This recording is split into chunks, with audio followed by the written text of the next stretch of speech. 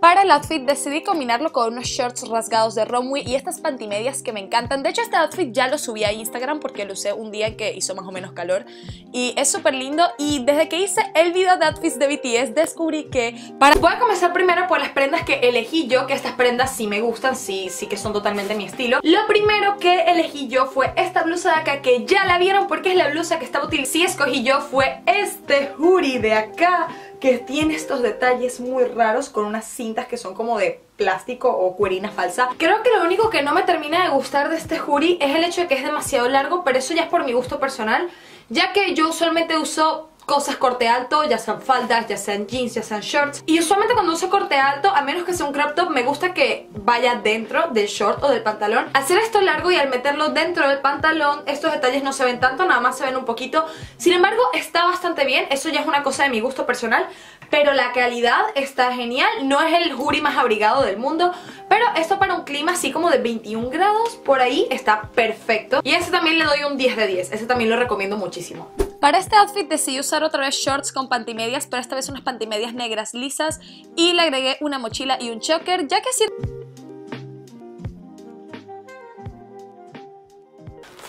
esta chaqueta de acá, que de hecho tiene un material brillante que se ve un poco barato, estoy clara que se ve más o menos barato, sin embargo sigue siendo bastante linda. Es una chaqueta que de hecho luce así, tiene una cosita blanca de pelucita que te pones al cuello, pero yo se la quité porque me gusta más cómo se ve sin. Este también lo usé en el video de outfits de BTS, en el outfit de Tae, o T, ¿Es Tae o T? Creo que se pronuncia T, pero es que ya la costumbre de decirle Tae, no le puedo decir T, entiéndame. Pese a que el material se ve un poquito baratón, de todos modos es usable, o sea, se la puede hacer ver bien. ¿Cuál es mi problema con esta chaqueta? Que el material huele muy extraño. Y esto me ha pasado ya con bastantes tiendas con las que he colaborado y usualmente lo que hago es dejar las chaquetas y las cosas que sean de estos materiales que huelen extraño ventilarse durante una semana entera. Esta la dejé varios días ventilándose y todavía no se le dio el olor por completo, aunque sí es verdad que se ha reducido, supongo que si la dejo más se va a terminar de ir. Eh, sacando eso está bastante bien, les digo, les iré avisando por mis otras redes sociales si logro que el olor se vaya, alguna forma de que el olor se vaya. Esta sí no le puedo dar un 10 de 10 porque de verdad el tema el olor me molesta bastante. Para esta chaqueta decidí hacer un outfit en plan colegial a varas, creo yo. La falda de H&M, un top que no recuerdo dónde lo compré, unas medias blancas a la rodilla y unos zapatos con plataforma cómodos. La verdad siento que se ve bastante bien este outfit, aunque la chaqueta realmente las puedes combinar como sea. Al ser una chaqueta negra va bien prácticamente con todo. De verdad es una lástima que esa chaqueta huela tan extraño porque me encantaría usar este outfit en público, pero no va a pasar porque hasta que no se le vaya ese olor no pienso ponérmela para salir cintura, pero yo la uso sin ese cinturón porque no me gustan los cinturones así, o sea, e-, ese tipo de corte no me gusta. No me gusta mucho el estampado que tiene adentro, pero al final del día cuando la usas no se ve. Y esta sí la podría recomendar, no es tan abrigada, es una chaqueta más como para lluvia.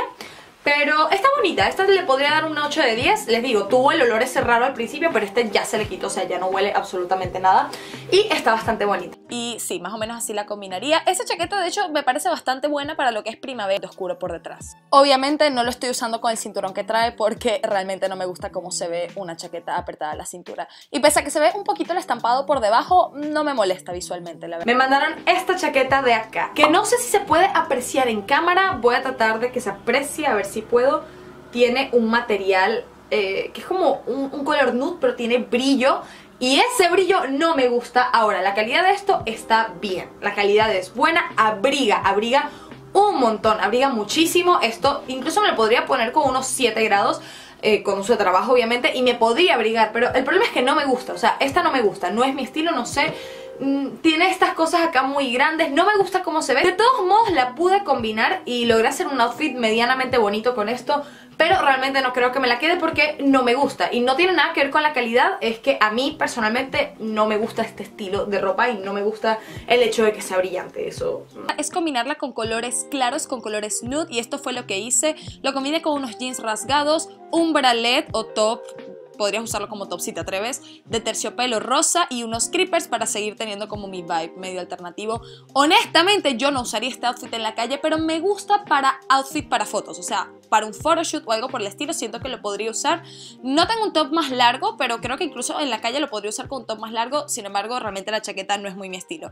Pero por lo menos para una sesión de fotos. Terminará con un outfit un poco más para frío, con un hoodie rosado. Disculpe mi baile, estaba escuchando una canción mientras hacía el trayón de esto. La verdad, viéndola en cámara, no se ve tan mal como creía, de hecho se ve bastante linda, me gustó. Y bueno, eh, un outfit con un hoodie, un cuellito, algo que podría usar en invierno, porque obviamente esa chaqueta es para frío. 呵 呵